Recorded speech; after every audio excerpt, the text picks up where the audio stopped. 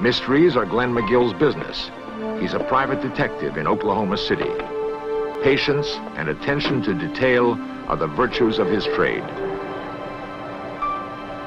Magill believes with the right techniques that any mystery can be solved, including the whereabouts of the Lost Dutchman mine. The Lost Dutchman mine is a different world altogether. It's out of character for us who are in the investigation business to get involved in this sort of thing. Far out, as you might say. In 1963, a group of Denver attorneys hired Magill to find the mine. With conviction and a spirit of adventure, he took the case. Magill thinks he found the mine in 1966, but not the vein of gold. In the fall of 1976, an amateur photographer documented Magill's 49th expedition into the superstitions. Magill admits spending thousands of dollars, as well as sacrificing family relations and business gains during his 14-year search for the gold.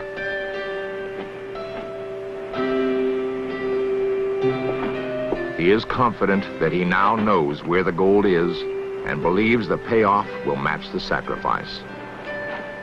Things come into focus at this very specific spot in the Superstition Mountains. The maps, the legend, the statements, the witnesses, our investigation, the evidence all comes together at one spot, and that's where we're digging. If our estimates are right, and we believe that they are, then the mine itself is composed of a vein of gold that is over 18 miles long. Magill also believes the mine carries a curse that may be influencing his life. It's uh, no doubt uh, taken some tolls upon me and my family and some of my very close friends. Uh, you might even say that it's uh, been responsible for shortening my life to some degree. Uh, I'm not in the best of health today as I was when I first started this investigation.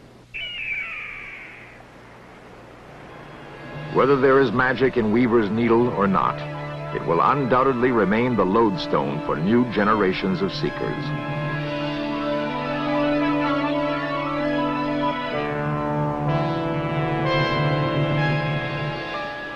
The Dutchman said he found gold there.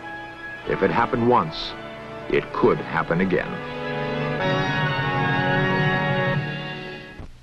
Dutchman hunters have never been popular among the Apaches who still regard the Superstition Mountains as sacred. The environmentalists don't like gold seekers either. They want to preserve the mountain as a wilderness area.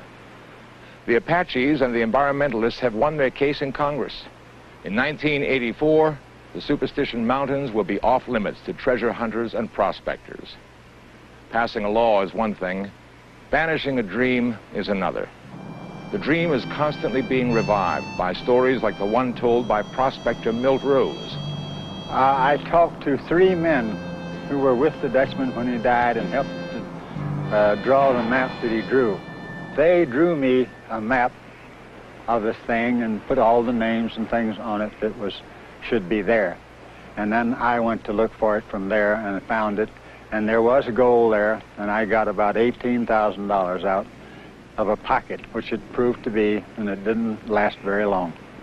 The Lost Dutchman mine has no relation to the superstitions or to the weaver's needle. It is in the Four Peaks country at about 4,800 feet in a big canyon. My personal feeling about the Lost Dutchman mine is that there's more gold in my back teeth than there is in this whole range of mountains. And I just don't believe it's here. I've packed them in for 10 years and have yet to pack a ore sample out.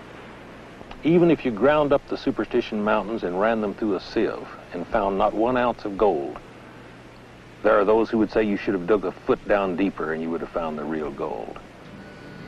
People dream. They hear these stories and they're greedy. They think that God meant them to find this gold and reserved it for them and they're going to go and find it, so they go in there by the thousands.